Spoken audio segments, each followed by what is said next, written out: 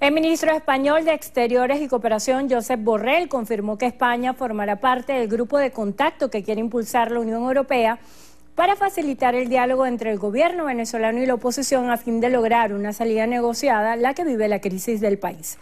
A su llegada a un Consejo de Ministros Comunitario de Exteriores, Borrell aseguró que de hacer algo seguro que se contará con la participación española